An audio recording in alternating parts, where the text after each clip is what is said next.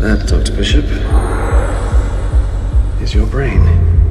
We need an inactive medium to transfer the neural tissue, a mixture of saline and polysorbate 80, three cc's of each.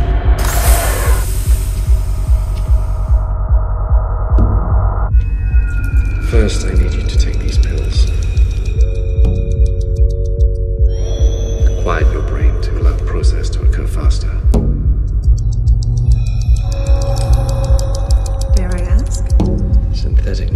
neurotrophins. Growth proteins. If this process works, it should allow his brain to absorb the missing tissue in a matter of minutes. I've eaten it once. It was sweeter than you'd think.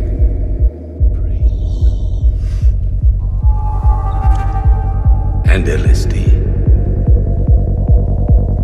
Love LSD.